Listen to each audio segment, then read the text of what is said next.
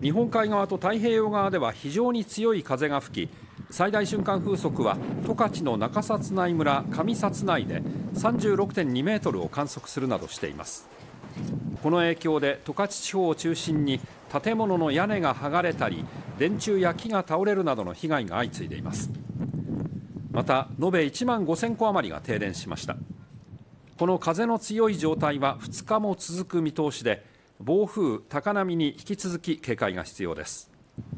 また日本海側では雪の降り方が強まり多いところで40センチと予想されています。